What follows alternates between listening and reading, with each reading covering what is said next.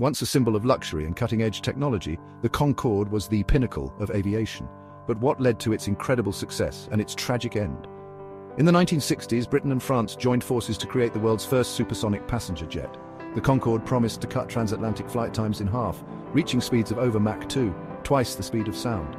Flying the Concorde wasn't just fast, it was glamorous. Celebrities, diplomats and business moguls paid top dollar to experience the ultimate in luxury travel.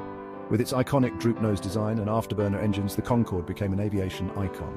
But this technological marvel faced steep challenges, skyrocketing operational costs, limited seating, and concerns over sonic booms. In 2000, tragedy struck. Air France Flight 4590 crashed shortly after takeoff in Paris, killing all 113 on board. Combined with rising fuel prices and post-9-11 travel changes, this marked the beginning of the end. In 2003, the Concorde retired, leaving behind a legacy of innovation and a lingering question, will supersonic travel ever return? What do you think? Share your thoughts below and don't forget to like and subscribe.